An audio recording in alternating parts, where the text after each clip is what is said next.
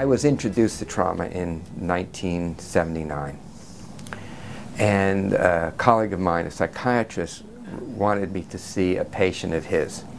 And this patient had gone from doctor to doctor with all kinds of horrible symptoms, what we would now call fibromyalgia, chronic fatigue, irritable bowel syndrome, severe premenstrual syndrome, severe migraines, headaches, migraines. And she was desperate and she went from doctor to doctor without any help. It's something that unfortunately still does happen, does occur. And so finally she was referred to, to my, my colleague, the psychiatrist. And uh, he tried to, there were, at that time there was one antidepressant and one tranquilizer. So he tried those and made very little difference. So he asked me if I would see her. And I said, sure. Well, this, this woman called Nancy, she came in with her husband because in addition to all the physical symptoms, she had severe panic attacks and agoraphobia. She couldn't go out alone outside of her house. And you could see that they, how uncomfortable they both were. I mean, she was really in, her heart rate was about 120 beats a minute. And you could see he was so tired at being her caretaker. Well, I had her lay down on the, the couch there and I started to do some uh, relaxation of her neck muscles.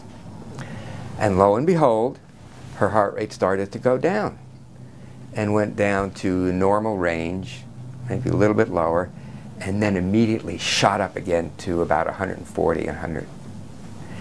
And even as I tell you the story, right, because this is something that happened how many years ago? You know, uh, 69, what was that, like 40 plus years ago. I still feel that tightening in my chest, right? So I said probably the stupidest thing you could say. I said, Nancy, relax. You must relax. However, her heart rate started going down, and I had a, a, relief, a sigh of relief, but it went down and down and down, below normal, below 70, in the 60s, and even in the 50s. And she turned pale, and she looked at me, and she said, Doctor, doctor, I'm dying. Don't let me die. Help me, help me. Again, now I feel a little bit of a twisting in my gut as well as a tightness of the chest. but I notice that it just moves through, which is an important aspect of the treatment, uh, the approach that I developed.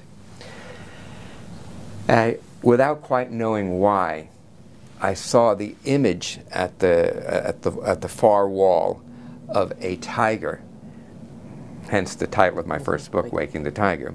And I said, Nancy, there's a tiger. Run, climb those rocks and escape. To both of our amazement, her body started to shake and tremble and her legs started moving as though they were running. And this went on for 30, 40 minutes. There would be waves of trembling. Her hands would turn ice cold and then warm. Uh, her body would, would shake and, and, and, tremble, and she would feel tremendous amounts of tingling and what she described as energy. And as this continued, she would take deep, spontaneous breaths. And this is not a breath that you can say, okay, take, take a deep breath. It just came from her whole being, her whole organism. And she became more and more settled. Finally, about 40 minutes, she opened her eyes, looked at me, and she said, Doctor, do you want me to tell you what happened?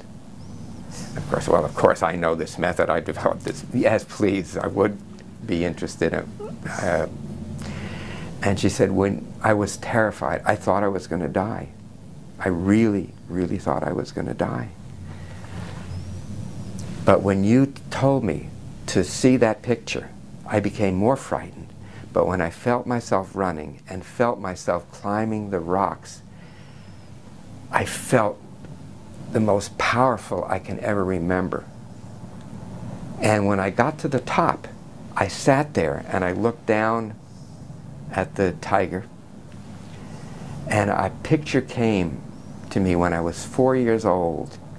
I had a, a, a tonsillectomy with ether, which was at those times was used very, very commonly.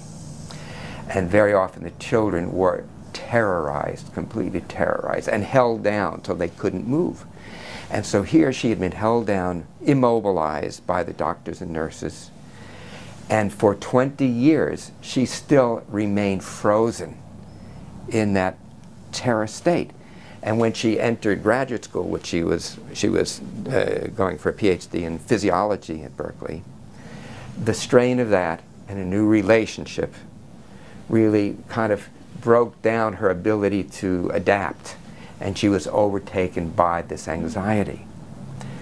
But by being able to do what she couldn't do then, to have an experience which actively opposed, which contradicted her experience of helplessness, of being held down, of not being able to run, physiologically, that this changed literally.